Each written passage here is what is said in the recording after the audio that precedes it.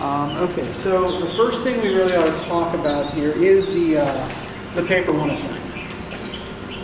Right, so you're going to be doing a 1,000 to 1,500 word argument based on a close reading of a single text, right?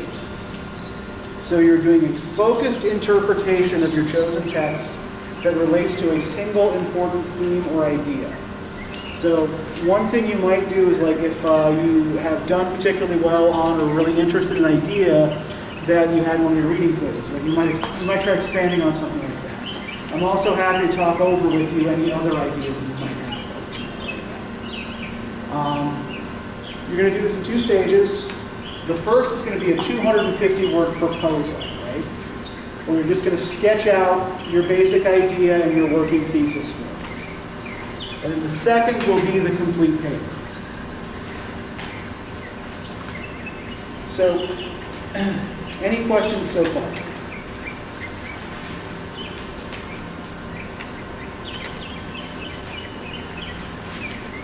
Okay, let's talk a little bit about what we want for the proposal, right? So you're going to give me your working thesis and a brief description of what you intend to do to advance this thesis in the long paper. So for your proposal, keep in mind, you're only describing your argument to me. You're not actually making the case here. So it's just like a thumbnail sketch or a preview of the bigger argument. Here's what it should include. A statement of the question you are trying to answer or the problem you're trying to solve. Your current working thesis, which should be your proposed answer to that question and the most important background information you think your reader will need to understand the argument, right? And this all in three, 250 to 300 words, right? So keep it brief, keep it tight. Now the reason that I want you to do a proposal before we do the final paper, before we do the actual paper, is to make sure that you have a viable idea before you commit yourself to writing a longer paper right? And to try to work any kinks out of the idea first before you begin the process of rewriting the paper. So any questions about the proposal? Okay. So let's talk about the paper. So your first step in writing the paper is going to be to gather evidence, right? This is something you should be doing in the proposal stage, right? Because your thesis needs to be coming out of the evidence that you are locating. So you're going to choose quotes that you think point to some bigger issue or idea in the text and that add up to some kind of meaningful pattern. You start with close attention to particular words and sentences, right? So both the literal and implied meaning of words, um, potentially ambiguous words that might have multiple meanings, and potentially meaningful images and symbols. Your next step is to focus on patterns and connections. Look for words, images, or ideas that repeat through the text. Look for lines or words that are connected through things like rhyme or alliteration, or even like if we're looking at a novel like Gulliver's Travels, right, you may have noticed some parallel structures between part one and part four. Right? There are some striking similarities in the way these two parts of the book are narrated. Think about the sequence of plot elements. And as per a quiz question today also, think about the relationship between the narrator and speaker, or the reader or hearer, right? That relationship between author or narrator And then you're going to want to try to put that pattern together, right? So how do the details you've noticed so far add up to a singular theme? How can you resolve the meanings of ambiguous words? What potentially contradictory ideas does the text hold in tension with each other? And how, is the, how does the way the text is put together help us either to make meaning out of it or prevent us from making meaning out of it? Sometimes we will find that the text is like almost willfully obscure, right? Seems to be trying to get in our way of finding an answer. And finally, what's probably the most important thing for me after the close reading is make sure your argument is properly contextualized, right? We spend a lot of time talking about history and theory, right? So try to make use of that. Right, think about the way the text reflects theories of fantasy and science fiction writing we discussed in class. Think about specific historical and literary, philosophical, or cultural trends that it references. Think about the stance it adopts towards its historical moment, right? Like, is, is the text critical of something in its historical moment? Does it seem to be embracing its historical moment? That sort of thing. Um, and finally, and perhaps most important for me, I promise to hunt down and maim anyone who uses phrases like back in the day and in today's society. Does anybody know, can anybody uh, anticipate why I hate those phrases? Well, it's, it's vague. Yeah, it's vague. It tells me nothing, right? Um, and it suggests that it suggests that you think history is a jumble of events that happened before you were born in no particular order and no, with no particular bearing on anything, right? Oh, that's just how things were back then, right? When I think one of the things that we have been noting as we've been looking at these texts is that history is actually a very powerful shaping force on culture, right? So please, please, please do not use the phrases back in the day or in today's society. Now, don't use in today's society because we're not talking about today's society, right? And don't use back in the day for the reasons that we just uh. So your proposal is going to be due Monday the 4th. The paper itself is due Wednesday the 13th. So, the, so this is coming up, right? But, you know, I think we've done enough um, to prepare you for it. Uh, so does anybody have any questions about the assignment at all? Yeah, Nick. Uh, proposal, is that by eleven fifty-nine or is that by five o'clock? Always by 11:59. Yep. And digital only. Yeah, digital only. Yeah. Just upload it to Georgia And you know, if you can't upload it to Georgia View for some reason, just let me know. Or if like you know you get it done at like 12:01 and it's not letting you upload, you tell me I'll just reopen folder. Yeah, in general, assume 11:59 is the as the, date. Any other questions? Okay, if you have questions as you work, then you know how to get in touch with me. Um, I do want to note, though, that um, if you are emailing me on, say, like, like say 10 p.m. on the day that it's due, you're less likely to get a response, right? Um, so I will, know, I do check email frequently, but, you got to give me time, right? And you got to make sure that I will at least have, you know, a working day in which to consider your question. Um, okay. So with that, then, um, let's talk about Houyhnhnms and Yahoos.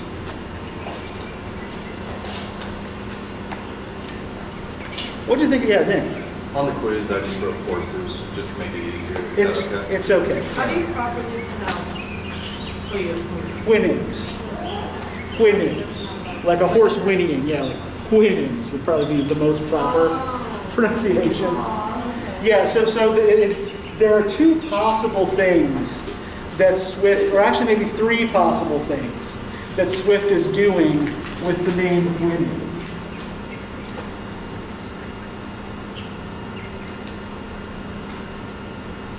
On the one hand, yeah, it's an imitation of the whinny of a horse. But it also looks and sounds a little bit like humans. And other scholars, although like I'm not, I'm a little bit less uh, less keen on this idea. Um, as a kind of stretched out whinnying form of the word you. Now, Yahoo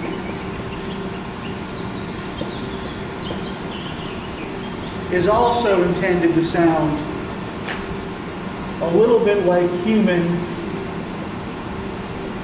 and a little bit like you.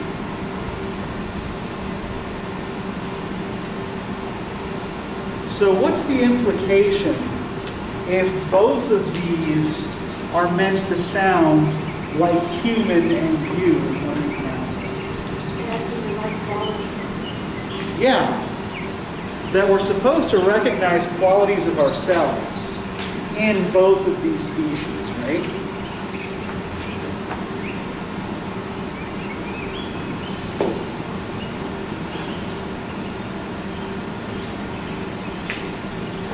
So there's some connection to humanity here.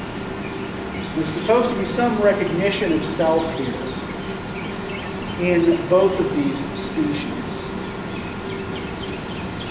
Now, which of them is on the surface anyway more admirable? Okay, why the Houyhnhnms? Because they have more, a more recognized society, they have farming, they have building. Uh-huh. You know, they don't need more than trade, where the Yahoos are just really sleepless monsters. Okay. Flesh. Uh-huh. Does everybody agree that at least on the surface level the Houyhnhnms are more admirable? What's wrong with the Yahoos? Why don't we like the Yahoos?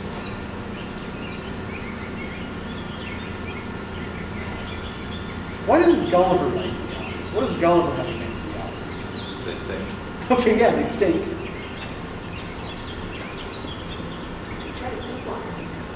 Yeah, there's a lot more shitting in this chapter too, right? This seems to be a thing with Swift, right?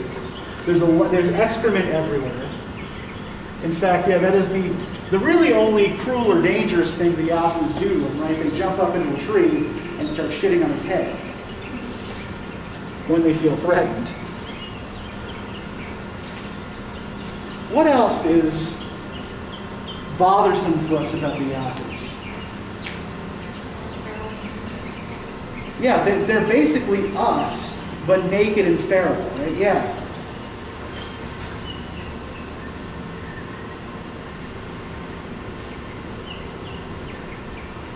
And does Gulliver initially recognize any kinship with these creatures? Yeah, does he even does he even know what they are first? Let's look here at page 207.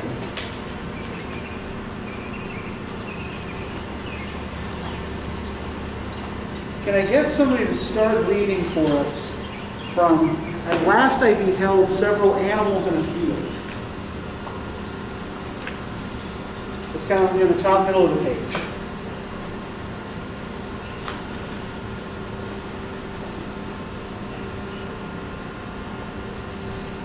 Two oh seven. Uh, 207, yep. It's near, very near the beginning of chapter 1. At last I beheld several animals in the field, and one or two of the same kind sitting in trees. Their shape was very singular and their form, which a little decomposed, discomposed me, Mhm. so that I lay down behind a thicket to observe them better. Some of them coming forward near the place where I lay gave me an opportunity of distinctly marking their form. Their head, head, their heads and breasts were covered with a thick hair, some frizzled and others light. They had beards like goats a long ridge of hair down their backs, and the full parts of their legs and feet, but the rest of their bodies were bare, so that I might see their skins which were of a brown buff color. They had no tails nor any hair at all on their buttocks, except about the anus, which I presume nature had placed there to defend them as they on the ground. For this posture they used as well as lying down, often stood on their hind feet. They climbed high trees as nimbly as the squirrels, and they had long skinny claws before and behind, terminating in sharp points and bows. They would often spring and leap with prodigious agility. The, the females were not so large as the males. They had long white hair on their heads, but none on their faces, nor even more than a sort of down on the rest of their bodies, except about the anus and the peduncle. Mm-hmm. Their dugs hung between their forefeet and often reached almost to the ground as they walked. The hair of both sexes was of several colors, brown, red, black, and yellow. Upon the whole, I never beheld in all my travels so disagreeable an animal. nor one against which I naturally conceive so strong an antipathy. Okay, we can stop there, right? Um, I actually, I use, I use this as an exercise in Comp 2 in building a conclusion based on evidence because what the creature really is is obscured from us here, right? Just as it is from Gulliver.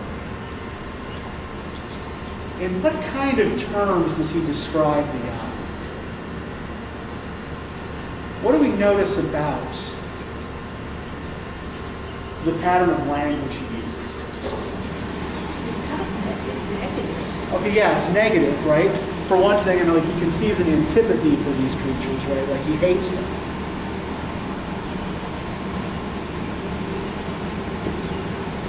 What else? Like you got even like, like language that is kind of divorced from any kind of feeling that he has about it.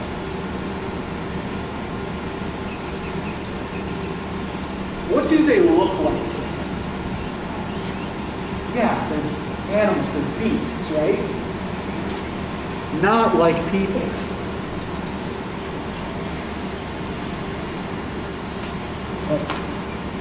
So he's talking about them almost like a zoologist would talk about a new species that they've discovered, right? Um, you remember uh, we talked last time a little bit about Marco Polo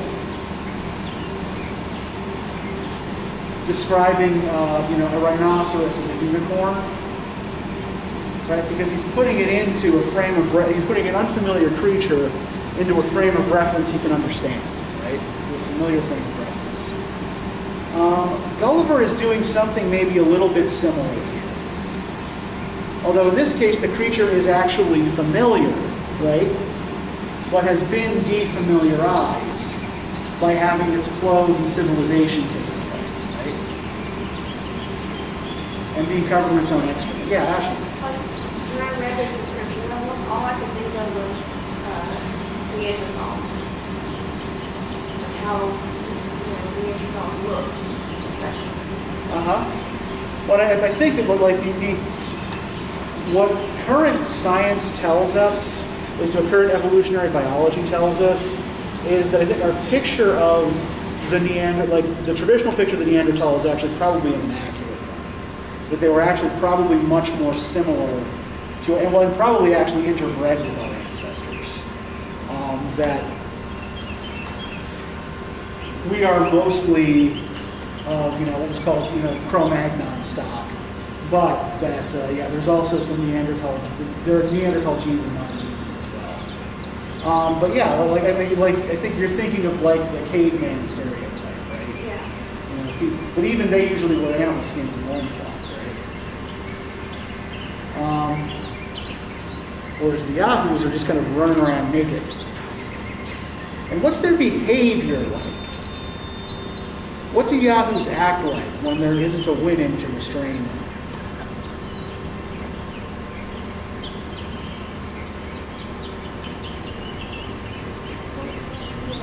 What do the Yahoos act like when there isn't a Houyhnhnm around to frighten them or restrain them?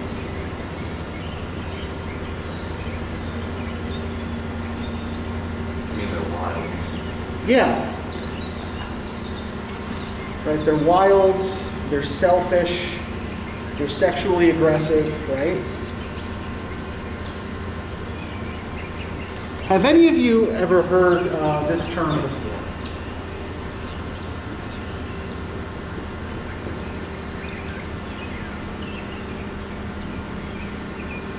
In reference in particular to political philosophy. I don't I don't know what it is. Okay. So this is a term that is used by the 17th century political philosopher Thomas Hobbes in a book called Leviathan.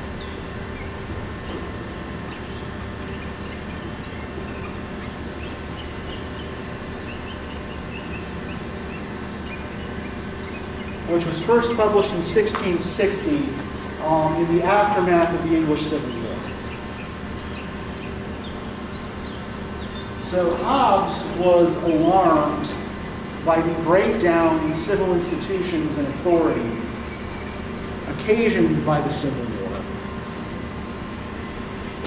and argued that human beings without civilization lived in what he called a state of nature. So, the state of nature for Hobbes is a state essentially of anarchy where the strongest can impose their will on others um, through brute force or through cleverness and trickery um, or through duplicitous behavior, right? Or just, you know, by a bunch of people ganging up on someone else who has something they want, right? So, you know, for example, um, say, uh, say Dalen has a piece of land, right? And she's stronger than me and has a big kitten stick. So she, as long as she can protect that land in the state of nature, that's hers, right? But if I can, say, trick her into running off a cliff, or you know maybe poison her food or something, and you know make her sick, weaken her, kill her off, then I can take it. Now suppose I'm not strong and clever enough to do it by myself.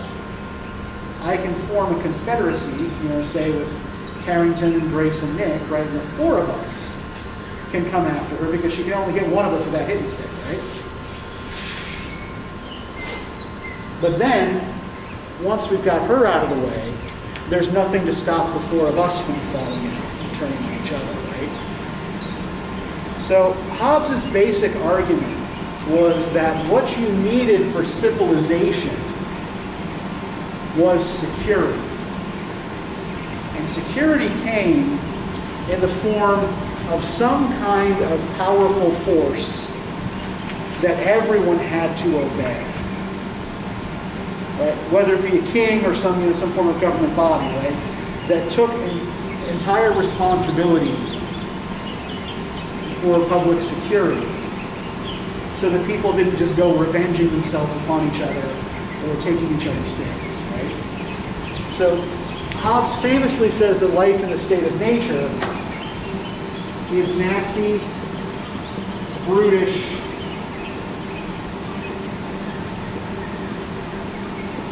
short. Because everyone is continually subject to violence. And if you are continually having to defend yourself from other people, then you have no time to develop the rudiments of civilization. Right? You don't have time for agriculture. You don't have time for art, right? You don't have time for mathematics or for construction because you're, all, you're, you're always trying to stop other people from killing you. And I think to some extent, this is what we get with the Yahoos, right?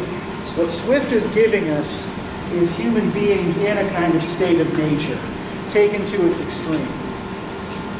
But there is one external authority that they recognize, right? What is the authority that the Yahoos recognize? Yeah. They obey the Houyhnhnms, right? At least when one is present. And how did the Houyhnhnms treat the Yahoos?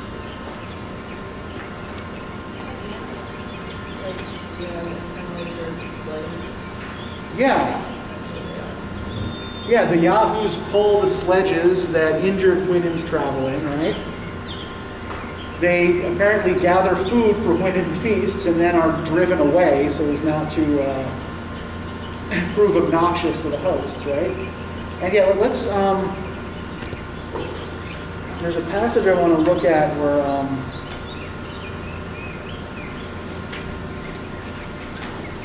Gulliver is brought into uh, Houyhnhnm House.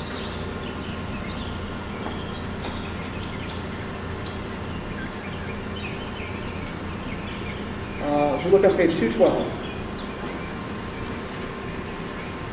Um, near the middle of the last full paragraph on that page. Actually, just start, start with that, that first full paragraph, because it was the mayor soon after my entrance. Rose from command.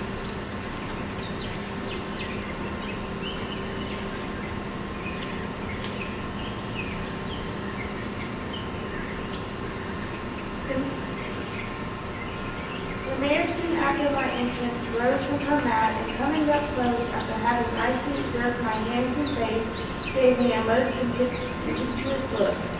Then turning to the horse, I heard the word Yahoo often repeated betwixt them, the meaning of which word I could not then comprehend, although it were the first I had learned to pronounce. But I was soon better informed to my everlasting mortification, for the horse beckoning to me with his head and repeating the word "Hmm, hmm," as he did upon the road, which I understood was to attend him, led me out into a kind of court where there, was another building at some distance from the house. Here we entered, and I saw three of the detestable creatures, which I first met after my lady, feeding upon roots and flesh of some animals, which I afterwards found to be that of asses and dogs, and now and then a cow dead by accident or disease. They were all tied by the neck with strong, with Why, why? See, wires mhm. Fastened to a beam, they held their food between the claws of their forefeet and tore it with their teeth. Okay, thanks. So let, let's let's just like particularly like let's look at how the Yahoos are being treated here in a Houyhnhnm home, right? What does this look like to you? Like how the nations would have treated slaves or how, you know, a person, a farmer might treat their animals as well. Yeah, which I mean, there's often kind of not too much difference there, right? Yeah. Yeah, they're treated like slaves or like livestock.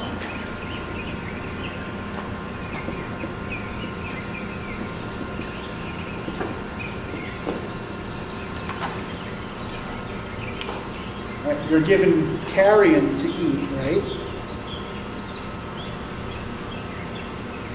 And they're tied up by the neck so that, you know, only their foreclaws are free to tear at this raw meat.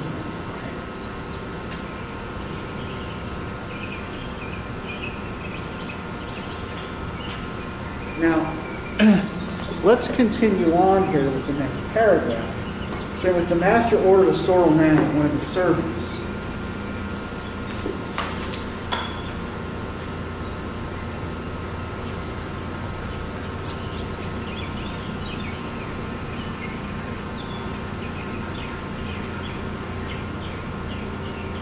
Anybody?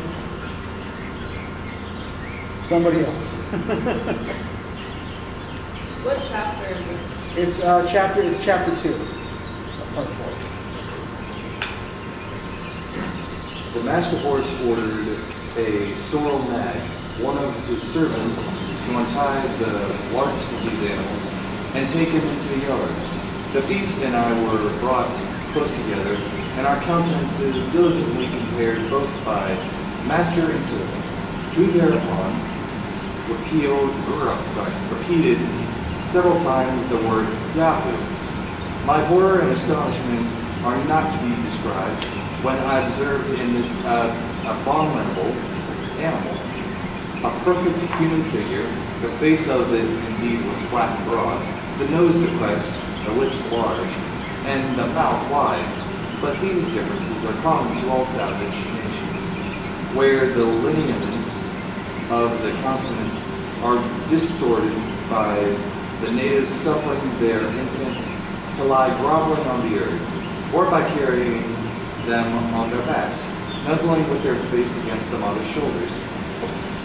The forefeet of the Yahoo differed from my hands in, in nothing else, but the length of the nails, the coarseness and brownness of the palms, and the hairiness on the backs, there was the same resemblance between our feet and the same differences, or with the same differences, which I knew very well, though the horses did not, because of my shoes and stockings, the same in every part of our bodies, except as to hairiness and color, which I have not already described, but which I have already described. So what is the source of Gulliver's horror? That it looks almost human, but not quite. Yeah. He looks like this beast. Yeah. That he is recognizing himself in this creature, right? It had to be pointed out to him. But now that it has been, he sees it, right? And is disgusted. So idea is an abject. Exactly, yes.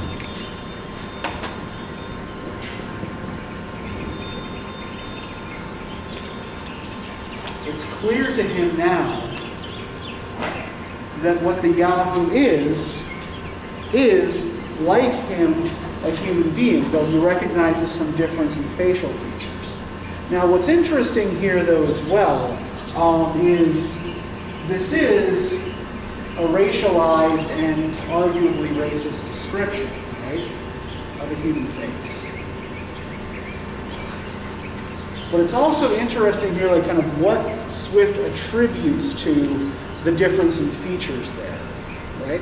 That he doesn't seem to regard it as a natural one. That he regards the Yahoo's face as distorted from groveling on the ground or from being nuzzled against a mother's back? So as though this is the result of nurture rather than nature, right? The difference between civilized and, for lack of a better word here, savage, is solely a, a, is solely a case of nurture.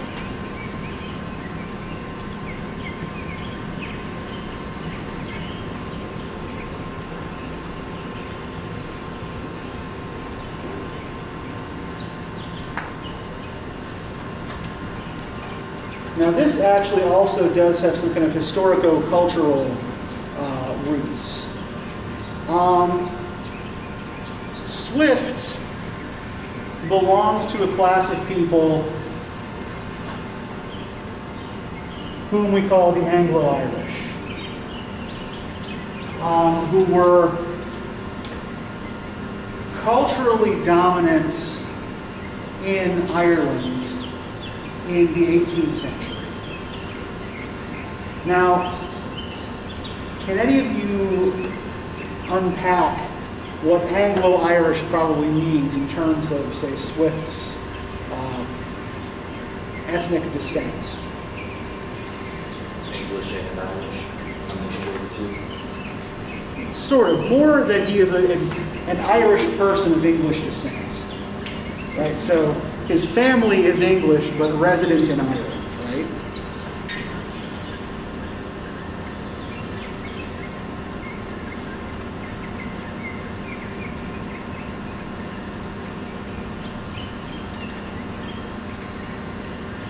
He's born in Dublin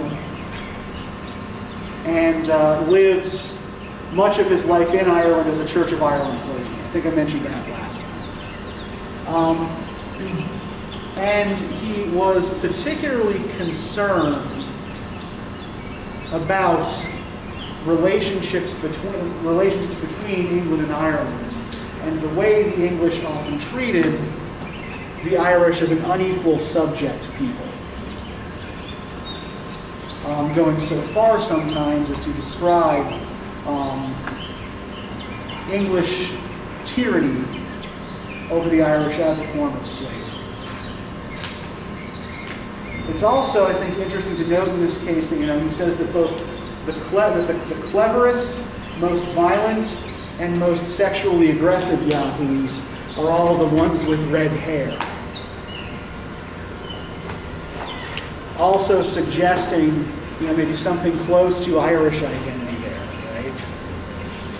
That, you know, when kept debased, these people are perhaps particularly dangerous.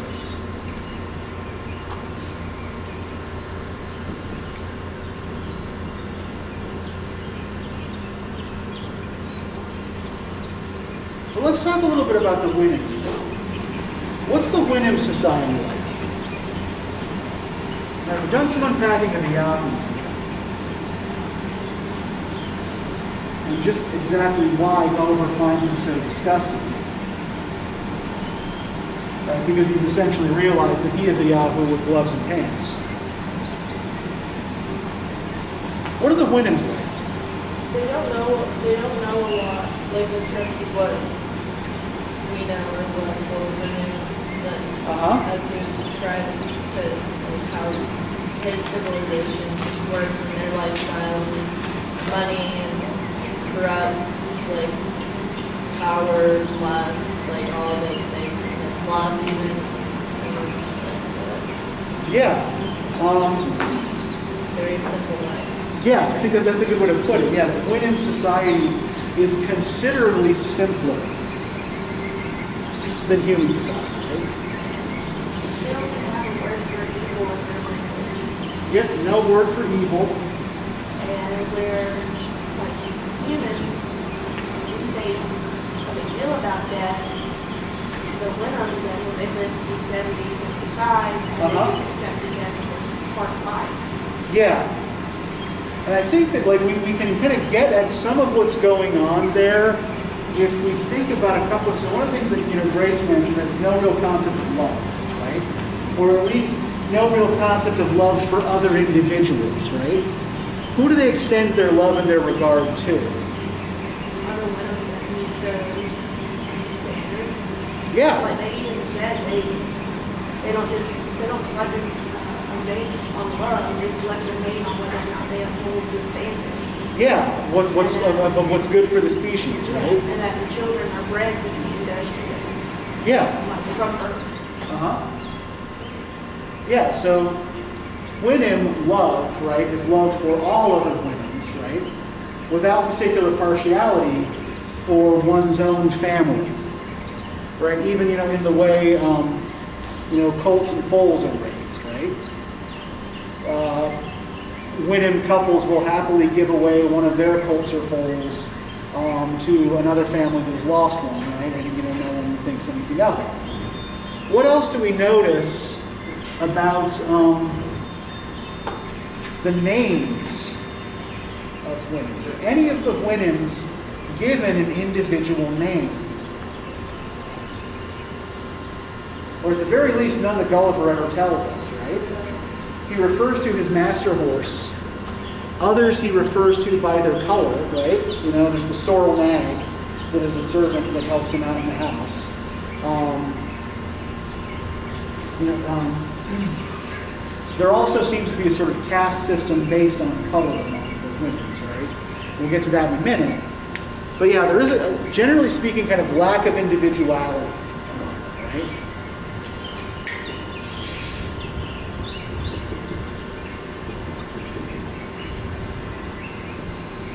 Even when they differ in their opinions, as we'll get to in a moment, they usually don't differ that broadly. Then you also look at it as the Yahoos represent more Western culture, while the Houyhnhnms represent more Eastern culture, like an old world culture.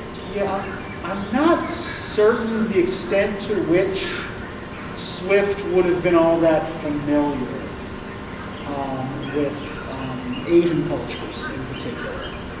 Um, so I can't really speak to that. Um, but I think that what he is playing here is something closer to a kind of philosophical. Right? What is the principle by which all Houyhnhnms claim to live? Never speak a lie. Yeah, they don't lie for one thing, right? So they don't even have a word for it. They say, the, you know, you've said the thing which is not.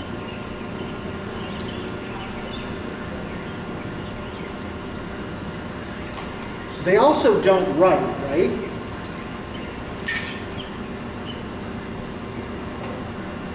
We'll try to maybe pull that out and unpack in a minute. Right? They don't write, and you know, and the weird thing about the not writing is that it's not because they can't use tools, right? Um, Gulliver demonstrates that you know that a Houyhnhnm can thread a needle with their hooves, that they can use their hooves much as humans use their hands, I would like to see that. But they, but they, but they, yeah, but, but they, but yeah, but they do not write. Um, but there is yeah one principle that they live by. It starts with an R.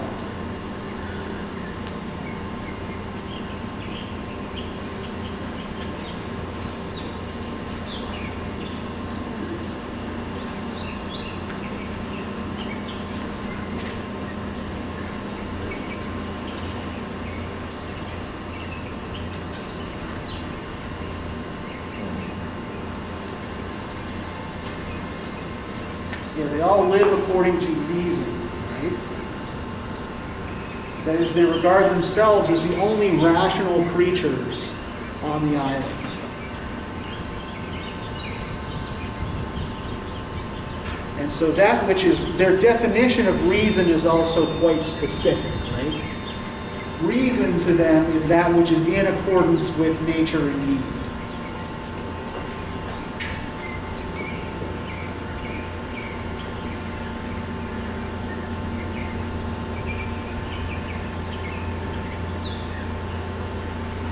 So there are certain things that the Yahoos do, right, that strike them as completely irrational.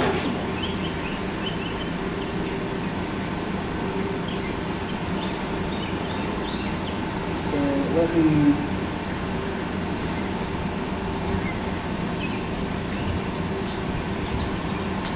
see what I can find.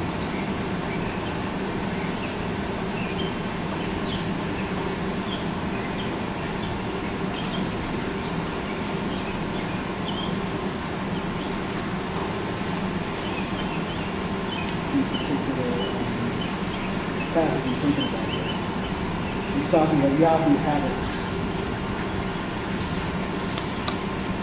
Oh, no, no, no, no, stay.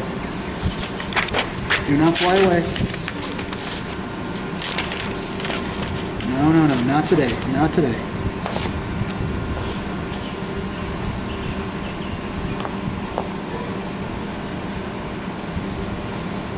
And of course, now, now I can't find it. Oh, right, so uh, if you look on page 239. In some fields of this country, there are certain shining stones of several colors, whereof the Yahoos are violently fond. And part of these stones is fixed in the earth, as it sometimes happeneth, they will dig with their claws for whole days to get them out, then carry them away and hide them by heaps in their kennels. But still looking round with great caution, for fear their comrades should find out their treasure. My master said he could never discover the reason of this unnatural appetite, or how these stones could be of any use to a Yahoo. But now he believed it might proceed from the same principle of avarice, which I described in mankind, that he had once, by way of experiment, privately removed a heap of these stones from the place where one of his Yahoos had buried it. Whereupon, the sordid animal, missing his treasure, by his loud lamenting brought the whole herd to the place, there miserably howled, then fell to biting and tearing the rest, began to pine away, would neither eat nor sleep nor work, So he ordered a servant privately to convey the stones into the same hole, and hide them as before. Which when his Yahoo had found, he presently recovered his spirits and good humor, but took care to remove them to a better hiding place, and hath ever since been a very serviceable brute. So, what kind of behavior is being described here? Loss. What's that? Loss. Loss, yeah. But what can't the Houyhnhnm understand about the Yahoo's behavior? Why they value these stones. Yeah, why do these creatures give a shit about these shiny rocks, right? There doesn't seem to be any economy or system of exchange on this island. Least of all among the Yahoos, who are just kind of given cast-offs from the Houyhnhnms, right? So what could they possibly value these shiny rocks for? So this is bemusing to the Houyhnhnm because it's to them contrary to reason, right? They don't need these shiny rocks. So why do they care about them? Um, there's another thing that Yahoos do that confuses that confuses him. If we look on page 242, which actually suggests the possibility of higher faculties of mind in the Yahoos than the Houyhnhnms give them credit for. Look on page 242. Uh, it's the last full paragraph on the page. My master likewise mentioned another quality which his servants had discovered in several Yahoos, and to him was wholly unaccountable. He said, a fancy would sometimes take a Yahoo to retire into a corner, to lie down and howl and groan and spurn away all that came near him, although he were young and fat, wanted neither food nor water. Nor did the servants imagine what could possibly ail him.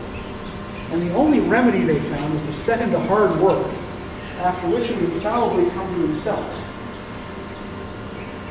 To this I was silent out of partiality to my own kind, yet I could plainly discover the true seeds of spleen, which only seizeth on the lazy, the luxurious, and the rich, who if they were who, if they were forced to undergo the same regimen, would undertake. Now, ignoring Gulliver's little interjection here about you know forcing people who were feeling this to go to work, what is the what is the sensation that's being described when the Yahoo just goes off by itself, despite being physically healthy, and will do nothing but lie down and moan.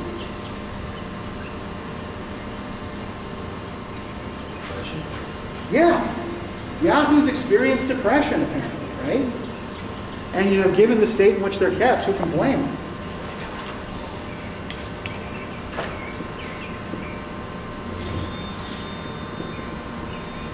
Right? The idea here being, and let's say, I think that the remedy for this that the, the Houyhnhnms prescribe is also kind of telling, right?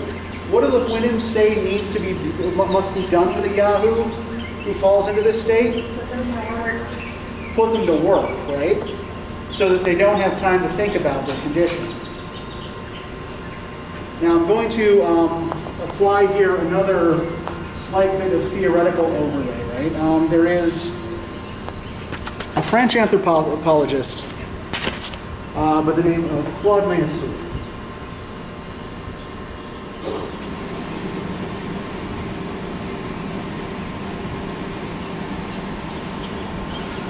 And I may have spelled his last name incorrectly. Um, I will check on that and make sure that I correct it next time if I misled it. But Meillassoux um, has made kind of an extensive uh, study of slavery, and slave cultures. And he says that we tend to understand the lives of slaves in two ways, right? The first he calls the condition of slavery. And this is simply the physical, material conditions under which slaves live. Are they treated kindly or unkindly? Are they given enough to eat or are they starved? Are they given a clean place to sleep or not? Right? But Meillassoux says that this is exactly the wrong thing to focus on. Because the more important thing is what he calls the state of slavery. Right? That is, both the legal state of being someone else's property and the psychological state that results from that kind of dehumanization. And I think that what this, what, this passage suggests is that the depressed Yahoo is, on some level, that the Houyhnhnms can't understand, aware of his state. And again, so the Houyhnhnms also, they assume the Yahoos have no language, right? And I think that we can probably think about this in terms of Prospero and Miranda and their first interactions with Caliban, right? Where they claim Caliban had no language and all he did was babble, right? Which, of course, if they don't speak the language, it's going to sound like babbling to them. So the Yahoos don't speak a language the Houyhnhnms can understand. Now, I think this is um, one of the things that should uh, cause us to question Gulliver's admiration for the Houyhnhnms. What's the Houyhnhnm plan for the Yahoos? What do the Houyhnhnms ultimately hope to do with the Yahoos? Yep. Exterminate, right? The Houyhnhnm plan for dealing with the Yahoos is genocide. That is where their reason leads them. That these inferior creatures are too difficult to keep, too big a menace, and the only real solution is to destroy them. And really, the only difference in the possible solutions is the level of violence involved, right?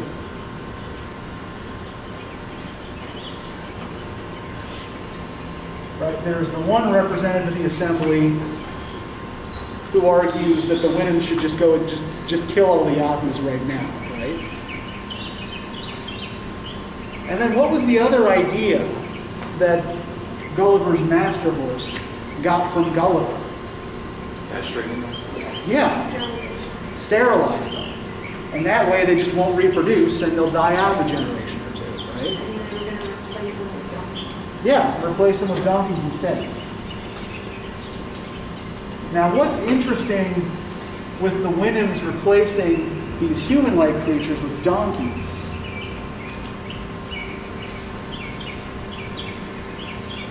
Slavery. What's that? Slavery. Yeah, it is slavery. It's it's even closer to human slavery, right? Because the donkey is much more physically similar to the Houyhnhnm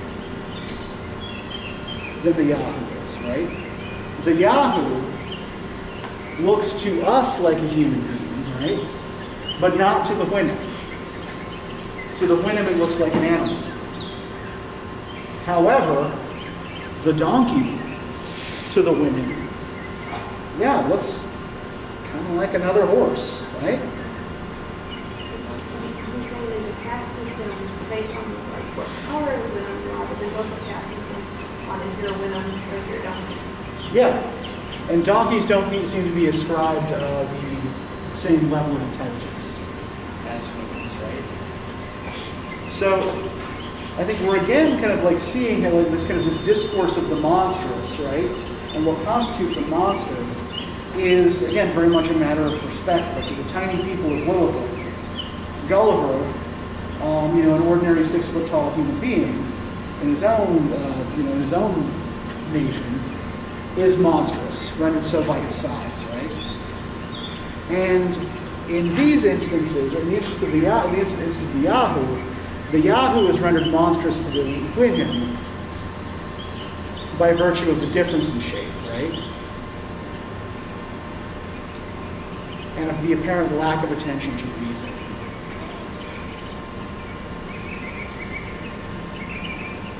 But what I really want you to think about as you read Frankenstein is Gulliver's response to the Yahoo and how that might be related to Victor Frankenstein's response to his creature, right?